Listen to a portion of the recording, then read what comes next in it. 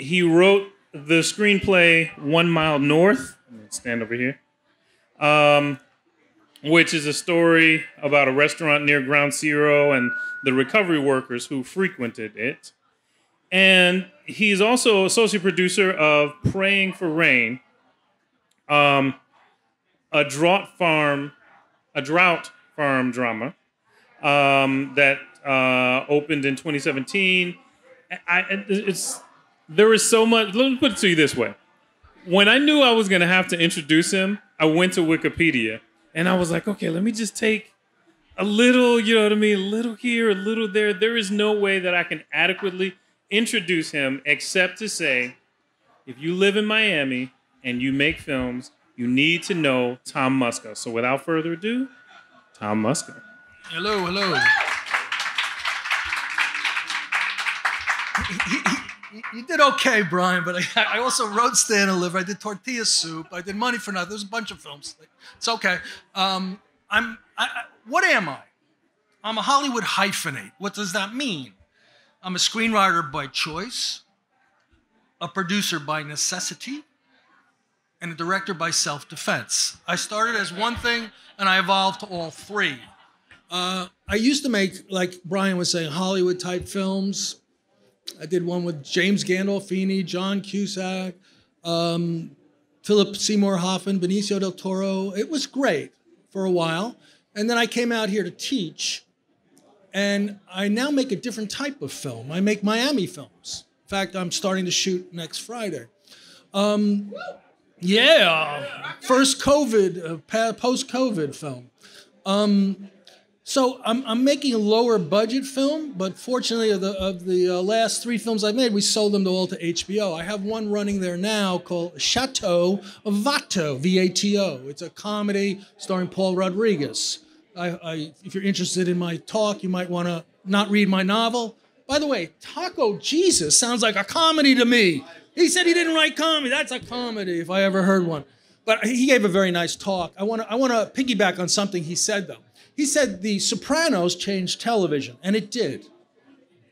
But it's not only content that changes television or film, it's the actual mechanics of making a film.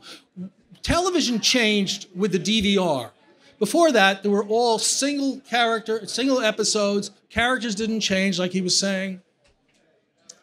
But now, once you had the DVR, you don't have to be present to watch the show. Today, of course, we have binging, streaming, so it's not an issue anymore. But that's what changed television.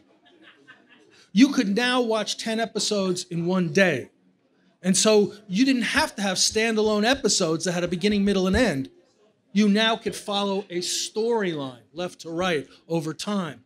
That's what changed television. And that has to do with the manufacturing of movies. Everything has changed since I when I was for I went to UCLA Film School. When, I mean, it's just so different. I spent uh, I did a feature film. I spent twenty two thousand dollars doing my credits. Can you imagine today? That's a budget of a, of a short film. You know, it's just different. It's always evolving, and, and that's why these kind of conferences are good because you, in fact, have to keep up with what's going on. Whether you're just a writer or a producer, a director, an actor, the more you know, the better off you are. Um, let's let's. I'm going to start with one of my favorite quotes, and this is by a screenwriter who actually died this year. But I just I love starting with this quote because it really defines who the screenwriter is and what we do and how we think.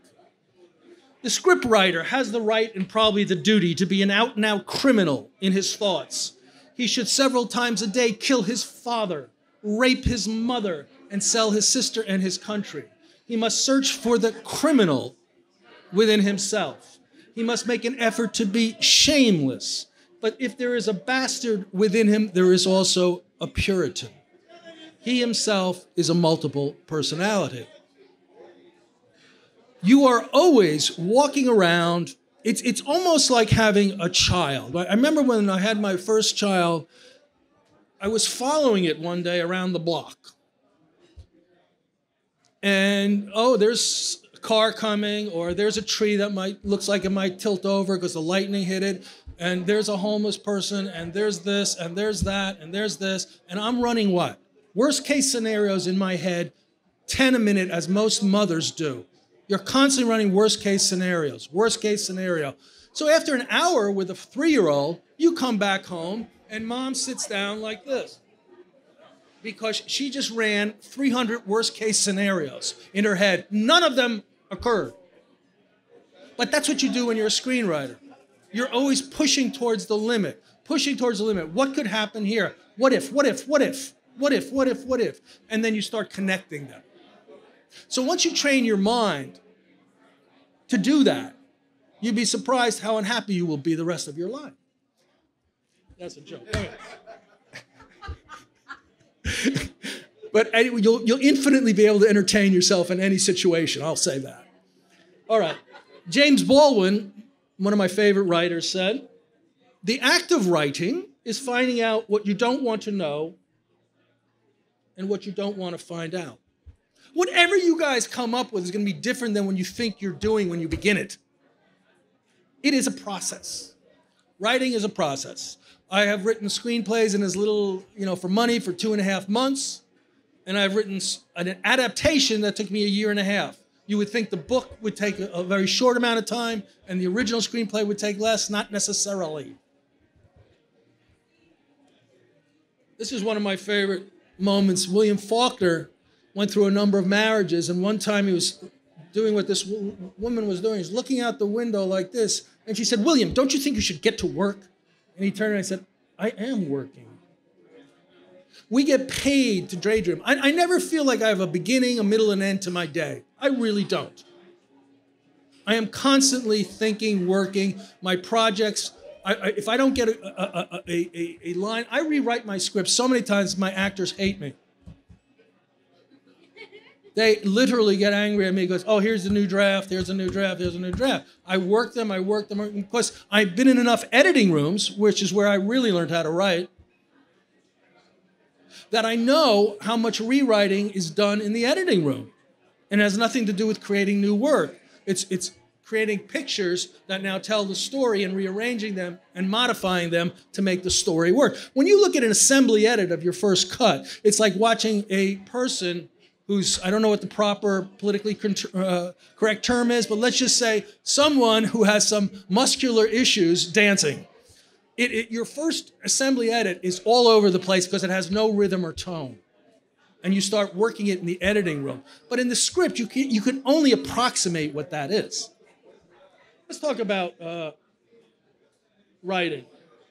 Everything you see on screen is first written. It begins with the word. As much as I'm a director, as much as I'm a producer, I always call myself a screenwriter first. That's the definition of who I am as a, as a human being. I am a screenwriter. I'm also a film teacher, but that's something else. Writing. Writing is like driving a car at night. You can only see as far as your headlights, but it's possible to do that. You can get through the whole way.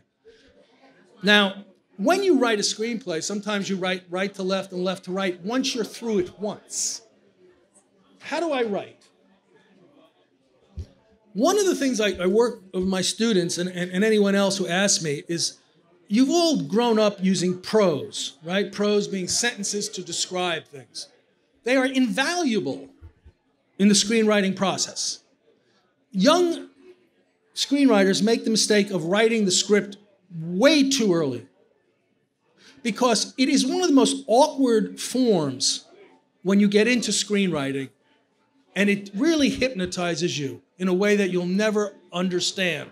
When you start doing exterior, forest, day, blah, blah, blah, blah, blah, it's very hard once you've created these scenes to really play with them once the whole thing lays out. But that's not true with prose. Prose you can play with endlessly, can't you? Those of you who have written, I've written novels, but prose you can play with endlessly. So I really, really suggest you spend more time writing your story and your character out in a synopsis. In fact, that's also how you fix your screenplay, but I'll get to that in a second.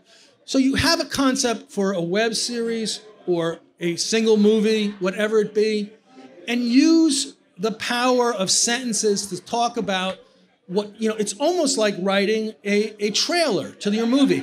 And when I write, when I start beginning with a new idea, I feel like the idea is auditioning for a screenplay. I don't think it is a screenplay. I don't grant it that kind of attention yet. It's almost like a first date. You know, I'm going out, I'm feeling it out. you have been on this first date, it's feeling good. Let's have another date. I don't start the screenplay, I don't start the movie yet. It's this, I'm waiting for the idea to convince me that I should spend six months to a year of my life on this. It hasn't done that yet. It's a premise to begin with, right? A log line to begin with, right? It's not a story. What is a story? What is a story? Who knows what a story is? You, you live with stories all around you. Yet, you know how few people can tell a story? And that, believe it or not, wasn't true of previous generations. And let me just say, I went to a lot of Thanksgivings with my uncles who got drunk and talked about World War II. These guys can spin a story. They weren't screenwriters, but they knew how to tell a story. Most people today, for some reason, really are very awkward in how they tell story. So, a screenwriter has to be three things I like to talk about. An architect. My son is an architect. What is an architect? That means narrative, story, structure. Those are the building. Every, every film is made of what? What is the essential building block of a movie, please? What is the essential movie building block of a movie? What? Con- conflict is an idea within what I'm talking about. Let's go right there. No, not character. I mean, characters. Here we go. What is a scene? The fundamental building block of a screenplay, is it not? When you watch a movie, you are actually watching a collection of scenes. That's what you're watching. In fact, they've moved around since they were first written. They've been condensed since they were first written. They've been changed since they were, in fact, they've been re-emphasized by the director who used the blueprint of the screenplay to decide what the movie could be. So what is it? What's the first obligation of a scene? You can see it up there, correct. I'm gonna, I'm gonna? Advance the story? Does the scene advance the story? Number one. Number two, does the scene reveal something new about the character, your protagonist?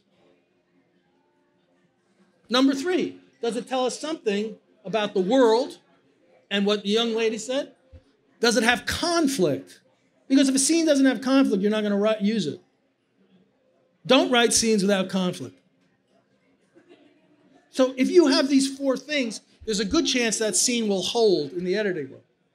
And don't kid yourself. When you when you make a feature film, how long is the assembly edit? Assembly edit, you take the script and you put it together. The editor is not getting creative. He's saying, here's the script, here's the film, here it is. I'm putting it together for the, you guys to see what you did first time through. How long are they? How long is a feature film assembly edit in Hollywood? How much has to come back down? They are never too short. They are never too short. You got you got to take out usually 30%, 25%, 20% of your film and throw it away. And you'll start seeing redundancies, you'll know why. But it's one of the things you have to do. So what I'm saying is use the synopsis to begin with, okay? Create your story in terms of a bunch of sentences and, a, and plumb the psychological depths of your character. Let it audition what this screenplay could be, not what it is. Take writing plot takes time. Writing plot is like going to the dentist chair. It's not that much fun. It's fun to talk about your character. It's fun to talk about the moments, the sizzle, the color. It's fun to do all that work. But writing plot, now, depending on the genre, isn't that much fun. And no one expects you in, initially to write a great plot. You can steal plot, by the way. Plot is stolen all the time, even Mr. Shakespeare did it.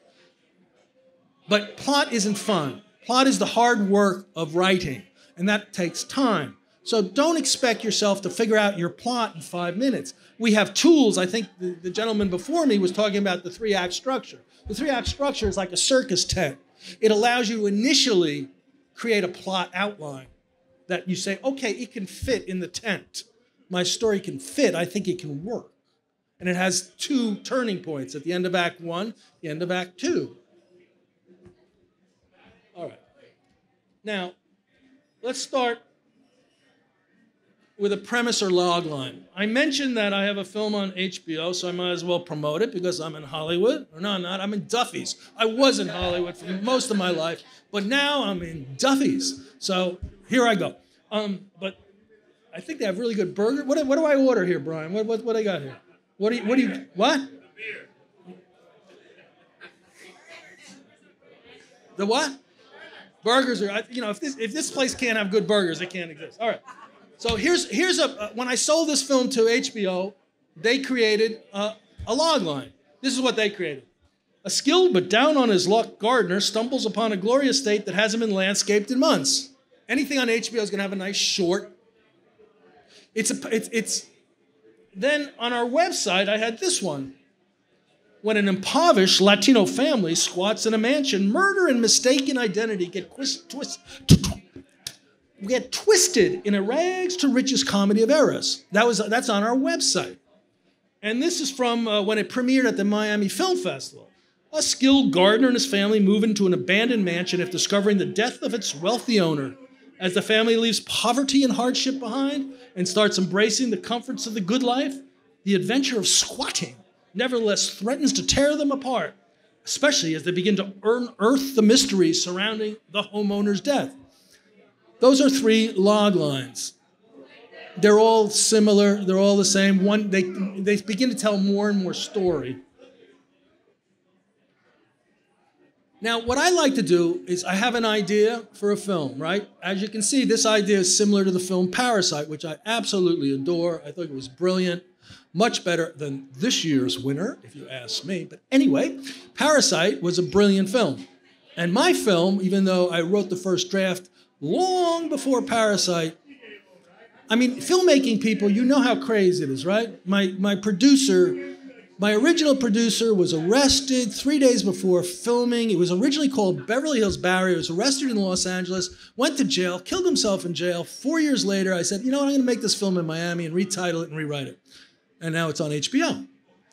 That's not unusual for the film business. It's full of curveballs. And if you if you are rigid in anything, you're going to get broken. It's, this is a, a job for, if, if you're a great generalist, you have a future in this business. You have to be good at a lot of things to do this well. You know, those people who can be chemistry majors and physicists, they don't do this that well, generally speaking. So I begin by creating a pitch which is not different than the synopsis itself. The synopsis is, is literally well written, I hope, right? Has sentences, it's, it's polished. But the pitch is a verbal version of the synopsis. And what I'm doing again is I'm testing my story. I'll pitch it to other writers. I'll tell you a story. When I graduated from UCLA Film School, uh, like the previous guy was, the previous uh, writing teacher was saying, I had one of my best friends was a guy named Michael Miner. And Michael knocked on my door one day because we used to trade screenplays. He says, Tom, you want to read this uh, synopsis I wrote? Sure, Michael. I'll be back tomorrow. We'll have coffee. Great. So I read it. It's three pages long. And it's about a, a futuristic cop and has a lot of the genre tropes of cops and sci-fi and all this. And at that point in time, I was a little probably too much like he described, and you know, more intellectual, more crazy, doing really weird, you know, trying to break the pattern, the molds of filmmaking because I was 27 years old. That's what you do. You're trying to reinvent the wheel. He was saying, don't reinvent the wheel. I think when you're 27, try and reinvent the wheel because when you're my age, you're not going to have the ability to even think about that too often. Once in a while, you can kiss it and run. But anyway, so I read this two and a half page synopsis. And he says, Tom, what do you think? And I said, Well, Michael, if you want to do something like that, go ahead and do it. I said, What's the title? He said Robocop. Now, Robocop became a billion dollar franchise that young Tom Musca was dismissing as commercial claptrap. It happened to me again. When did this happen? Well, there was a gentleman named Neil Moritz who saw my student film and invited me up to see his father. Now his father was a worked for something called UIP, which was more like the drive-in type films, and he had a poster there called Mulholland Drive and had a car and a bunch of kids. No, not the David Lynch film, but a car and a bunch of kids. And he said, I heard you're a good writer. I want to hire you to write this film. Well, what's the story? I don't have one. It's just look at the poster. You see it? Okay.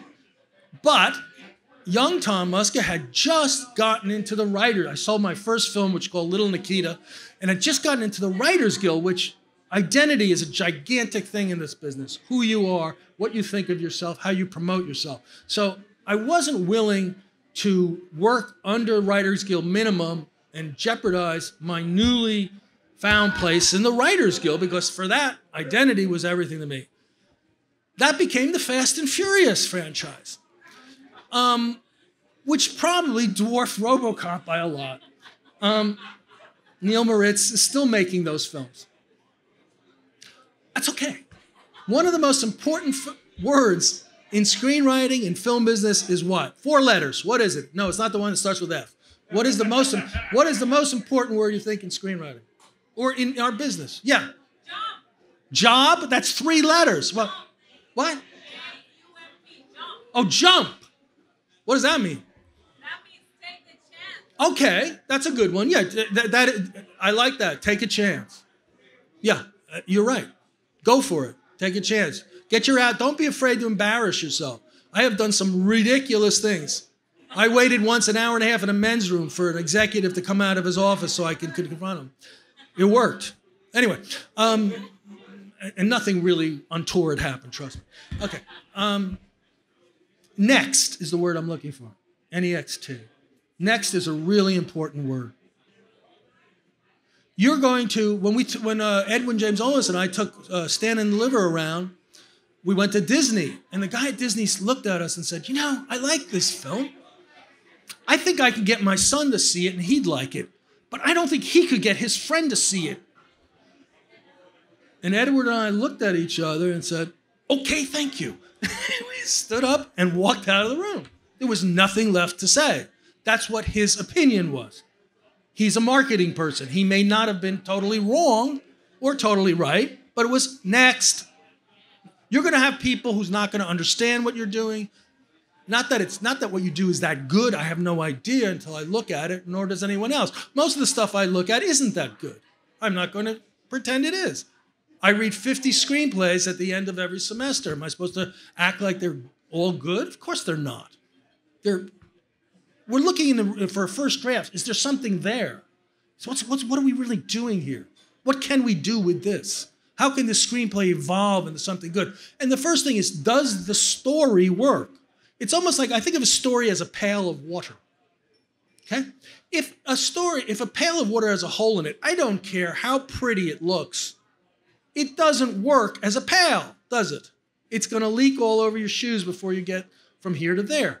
Now, if a pail works, doesn't mean it's good.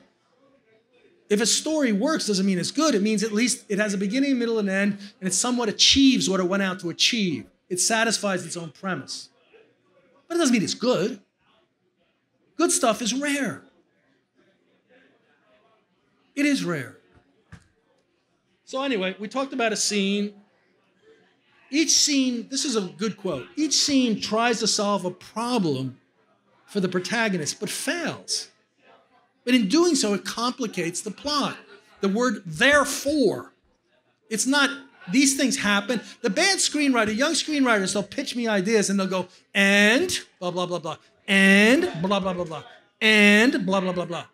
No, you got to say blah, blah, blah, blah, blah. Therefore, blah, blah, blah. Therefore, blah, blah, blah. That's structure.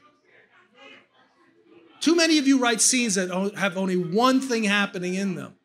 Those are the scenes that get left on the cutting room floor. You have to have multiple subplots threaded through your scenes. Let's look at themes. Plot is what happens, theme is what it's about, right? This gentleman who directed this, David Frankel, lives in Miami. He wrote, he didn't write this, he directed uh, Devil Wears Prada. What would you sacrifice to be excellent? That's what that film is about, in five words.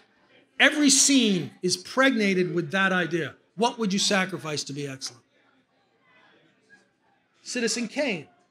What shall it profit a man if he gain the whole world but lose the innocence of childhood? Citizen Kane. Let's jump. When Harry met Sally, can friendship and love be compatible? My film. Now we I, I thought this was the theme, so I put it on the poster as a tagline. So if you look at my poster, and I'll have a tagline. Some people are so poor, all they have is money.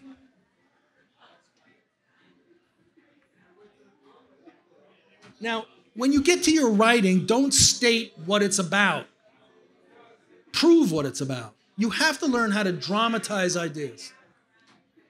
That's something a lot of people don't understand. The, the characters tell things. The characters give up information way too easily in most young people screenplays.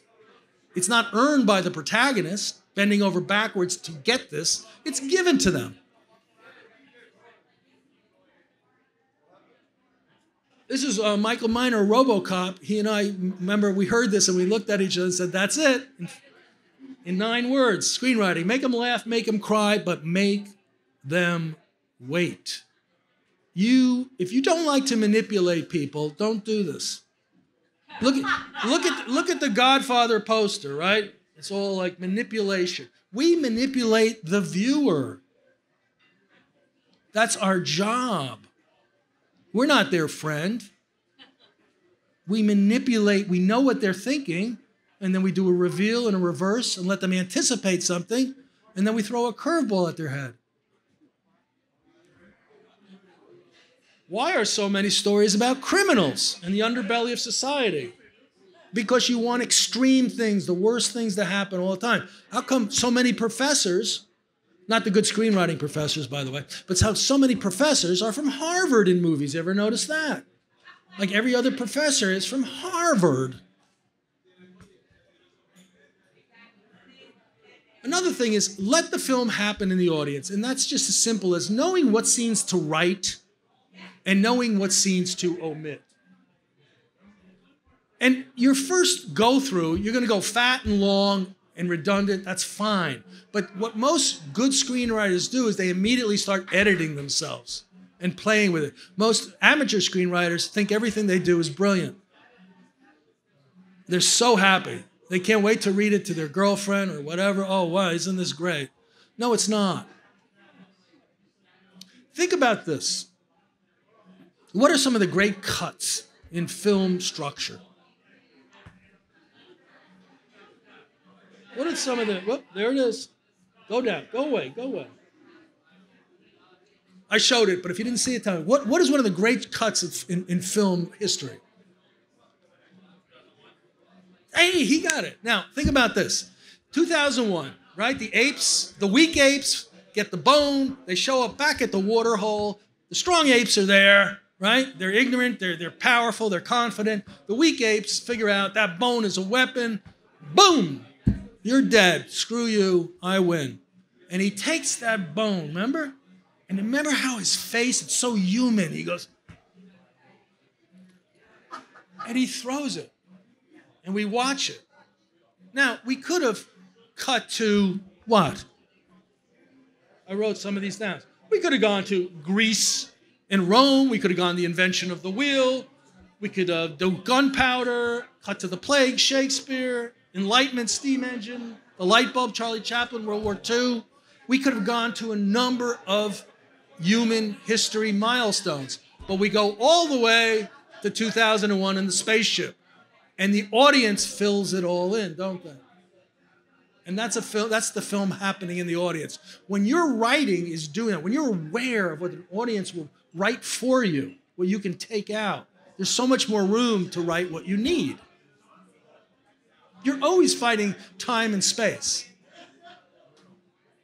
Most screenwriters, now Sorkin was mentioned, Sorkin overwrites terribly and he'll admit it.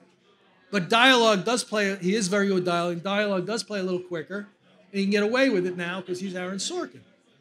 Oliver Stone, I knew, you know what he used to do? sometimes. He hired uh, this one project, he hired two sets of writers, didn't tell them. Two sets of writers on this one project. And so then the scripts come in, and Oliver took both scripts and said, Thanks, guys, and then rewrote them into his screenplay. Shit happens. Um, I can talk about true stories. He mentioned briefly earlier about the difference between truth versus fact, which is a big deal. But it's like dialogue. You're not trying to write actual the way we converse with each other. It's dialogue is like a, a, a painting in real life is like a photograph. It is a much more nuanced, controlled emphasis of what you're trying to do in the scene. And most of you overwrite. Now, I once had, in all my work with actors, most of them get insane when you cut their lines. They don't like it. What do you mean? You cut my scene? I love that scene. You cut these lines? I liked it. I like saying that. Okay. I had one actor, though, who did the exact opposite. He said, Musca, what? Musca, what? Cut some of my lines. I can't act. It's, it's overwritten. I can't act. I can't do anything with this. It's too, too many words. That was Benicio del Toro. He wanted me to bring his down so he had room to move within the moment. He could feel, could act. You have to be aware of what the actor and director can bring to a moment. Character. You can argue that the purpose of drama is to demonstrate how people take action that is outside the realm of their personality.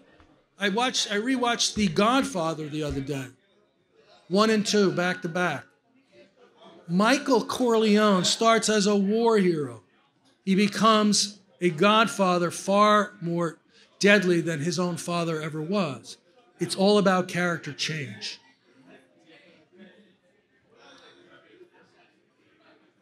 What does a character want? Seems like a very simple question. Character is expressed through action and it's overcoming obstacle. You must make sure you have enough obstacles. You know, put, put, put your character up a tree, throw rocks at it, and get him down again. That's the three act structure. All right, I'm going to jump all this. This is all wonderful stuff. But I think I think you've heard two screenwriting teachers back to back, and I'd rather answer some questions you have.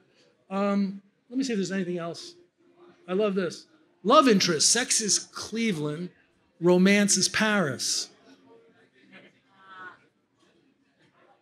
Okay? There's a reason the door closes in a lot of films and the lights go black and we cut away from sex. It's really not that interesting. Why? Because these people aren't in conflict.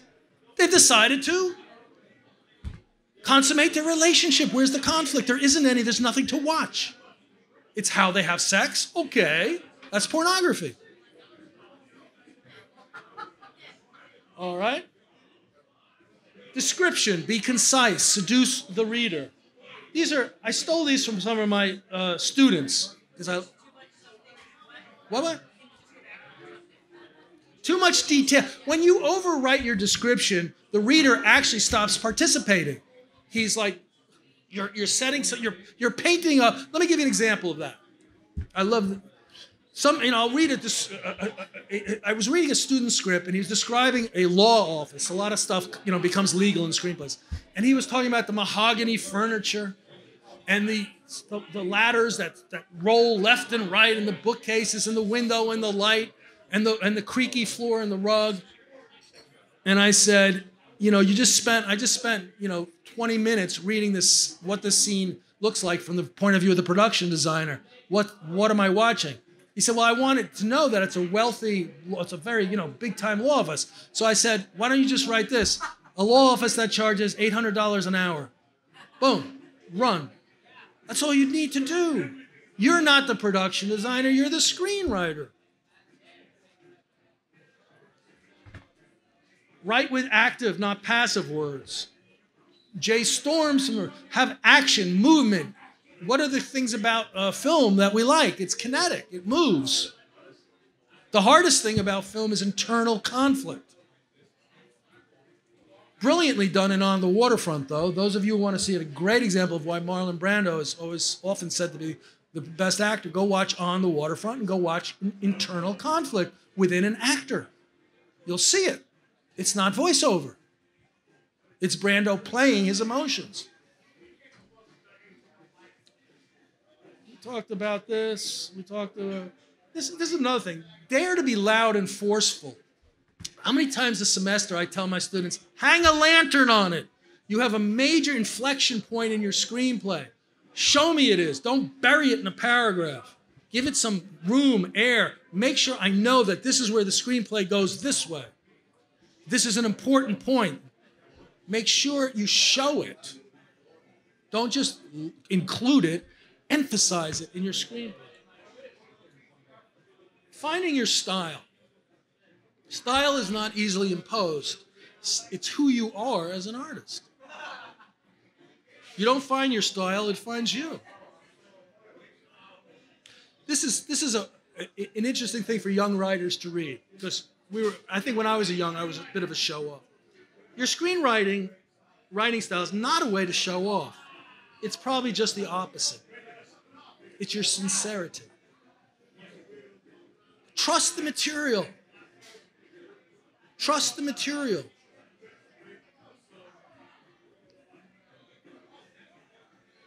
Write less, think more. It's one of the things I learned. I used to start writing way too early. I never wrote the synopsis. I never did that. I started right on scene. Oh, here we go. Okay, here we go. Look at this. I got 10 pages, 15, 20, 25, 30 pages. Whoa, look at this. I don't do that. I contemplate my journey with my character, who they are, what it could possibly be. And then write something that shows me that you know something what a camera can do. Stage your scenes. Have an have a implication of staging, how they're going to be photographed, without using the words close up or wide shot or any of that. It's it's an emphasis. It's you're a conductor. Conduct your screenplay. So it's easy to read. Make it easy to read. All right, I think I'm about there. Uh, Hollywood doesn't need another Tarantino or Wes Anderson. They already have those. They want the first you. Write a screenplay that no one but yourself can write, and then it might have a shot. Don't jump on someone else's bandwagon. It's not going to work. You're already three years too late of, of all of those. By the time your screenplay gets made, that idea is old hat. All right, that's enough, right? Here's a, just so to show you. Here's a. Uh, here, this is what I write. This is synopsis. I wrote. I got a job off of this at HBO. So it's only what? Look, two. Ooh, look at this. It's only you know a page and a half. But it's it's the essence of the movie in auditioning for a movie.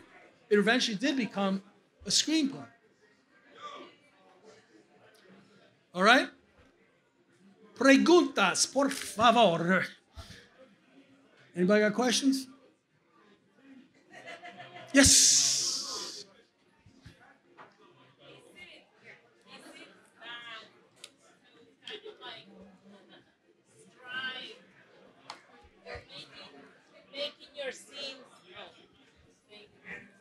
Is it bad to kind of strive for making your scenes at least three minutes long? Like since you already got a location, the actors, the wardrobe you're, change. You're thinking backwards. I know. You never think how long should the scene be. Write the scene. Let the scene tell you how long it should be.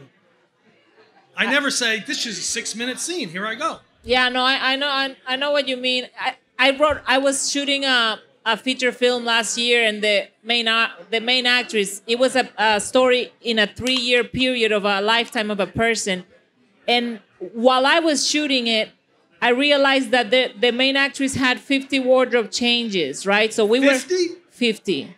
So we were shooting Big budget film. No, so we were shooting like I was trying to shoot seven minutes a day, but because of the wardrobe changes and the makeup and the jewelry, it was a little hectic because it's like we're shooting three minutes and she gotta go into wardrobe changes for a minute scene and, and this and that. So I said, oh, maybe I should just make scenes longer and just like have the conversations kind of like blending into into a scene. Why don't you make her poor so she doesn't have money to buy all the other clothes? And then we know why she's wearing the same dress in every scene. I don't. I know. There's always a solution to the problem. It's just not always the most obvious one. What's that? Yeah, right, exactly. Yes, sir. How, how have you dealt when you hit a point? How have you dealt when you hit a point where most people call writer's block? Never. Wait, I oh, never had that. Unfortunately, I, I, I wish I did. I, yeah, just keep I'm always going, okay. capable of, of, of drivel. Right. I'm a good guest at a dinner party. I'll just talk shit. I, I really don't have. To, I've never had writer's block in my life. I don't understand it. I know, I know it exists. I mean, did you struggle with a scene like you were like it wasn't coming together the way you wanted? Yeah. You had to go back and redo it multiple It's, times it's, to get. it I, to I tried to say that earlier in the lecture. It's about story structures, the dentist chair, the worst possible day of screenwriting. Like once I figure out my story, I'll do my synopsis. I'll, I'll put muscle to the bone and write a treatment. Sometimes I'll go 20 or 30 pages, all prose. And then I'll go to a scene list and identify the actual scene components. And then I execute. Basically, it takes me, at that uh, 10 days, 10 pages a day. I got a screenplay. Now I read it. And I find there's a structural problem. That is not fun. Then I have to sometimes go back to prose to solve the structural problem. I don't try to solve it in the screenplay form because the screenplay form is an MF. It's a motherfucker. It is not fun to manipulate. It will it will it will hypnotize you like nothing else. So I go back to concept. I try to reroute it through bottom up, and then attack it. And I, I'm doing it constantly. I just wrote a screenplay. We're shooting in uh, Puerto Rico, think. and uh, yeah, I thought my third act turned into my second half of my second act. Thank you. I'm curious because you brought up Nomadland, and um, I know it's hard to write like a a, a journey that's a mostly internal journey for a character. And um, I'm wondering, is there is there a way you would have been able to rewrite some of that to make it rewrite some of that film to make it less boring? I mean, it was. I, I don't mean like Frances McDormand is great and it was beautifully shot, but I was It's look. I- it's, I'm it's wondering if there's a way to make that more- Yeah, I wish she had a relationship with David Strathairn that went somewhere somehow, even if he killed her or she killed him or they ran over her his dog or something happened. Besides, uh, I'm not sure I want to live at this house anymore. I, you know, I found it a little bit the stakes pretty low. You know, raising the stakes is one of the things you've heard us say. It's just a way of doesn't mean it has to be a Hollywood film.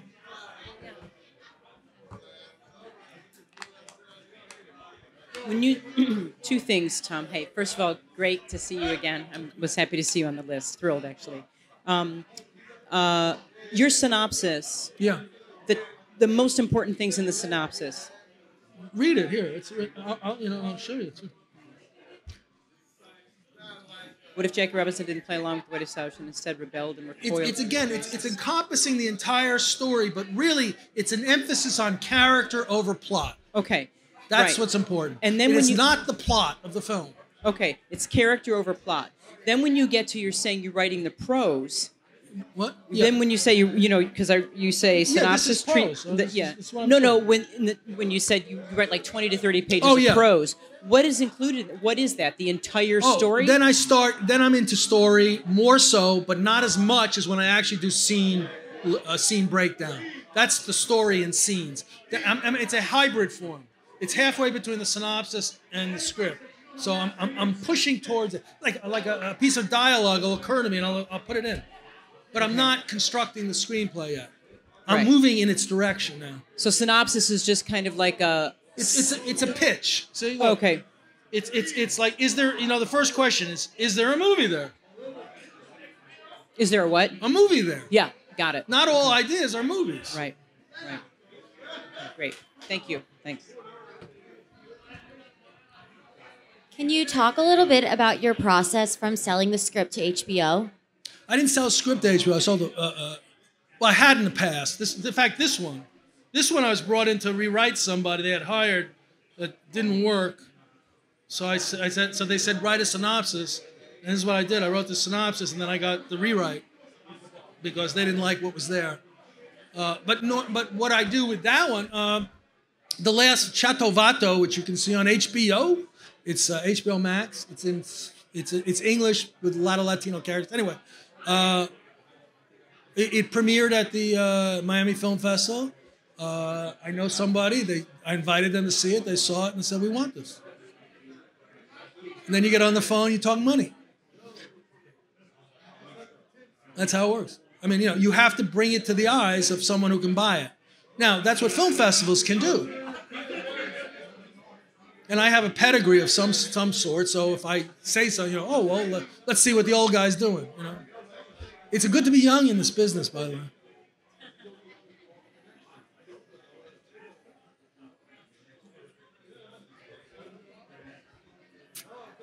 Hi. Um, I have a. I, when I'm writing, I often have a, uh, a dilemma of whether or not I should just let the dialogue end a scene, or like if something happens, if if I should describe how a character is, is crushed in some action or anything. Do you do you describe how characters feel? Okay, it's a good question. Yeah, yes, I more and more actually. My writing evolves more and more in that direction. That uh, I'm, I'm I'm writing the reaction shots in more and more.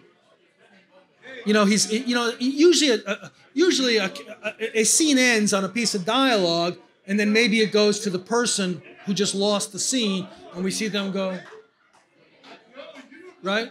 So I'll say he contemplates that moment, not sure that he had made the right decision. So I'm actually describing a shot. Yeah, it's fine to do that. But more and more, for some reason, now I am uh, distrusting directors, even if I'm the director. And I'm writing in, I'm, I'm writing in the psychological reality of the piece, much and more so, which is replete in my synopsis to begin with. The, the synopsis has a lot of psychological reality, but it doesn't have plot. Plot is the hard work. I have one other question. Um, if some, I got advice one time that said um, it's kind of over oversimplification, but it said that you should never have a scene with two people who agree with each other. Yeah, that's pretty true. Unless, unless the only the only probably exception is if it's comedic, but then it's probably not comedic. No, that's that, someone brought it up. You know, conflict, conflict, conflict. Conflict is the essence of drama. Even if it's subtext, even if I'm saying, hey, you, you know, let's say I want this water, and you're there and I'm here, and I say, you can have it. The subtext may be, I actually want it, but I'm pretending not to want it, so you'll give it to me because I know you're a really nice guy. That's the psychological dimensions of a movie, of a scene. But what you, you have to do as you mature as a screenwriter is look at the whole thing. Don't get stuck in, in your little moments that, you know, there's something in Hollywood they call killing your babies, which means sometimes throwing away shit you, you think is working and you like because it, it really, a good example would be the, the Wizard of Oz. If you ever, if you want to have fun, Google Ray Bolger's uh, solo dance. It is incredible to watch the uh, Scarecrow dance for three minutes. It's like, fuck, it's great. But they cut a lot of it out because it hurt the whole film. Woody Allen once said, I take away some of my best lines because it makes my other lines that much better. the speeding up, the, the momentum. You know, you, you watch, if you ever see a film, I tell my students, don't sit in the second row of your film when you're showing it. Sit in the last row and ride the audience. You'll see everyone go like this at a point.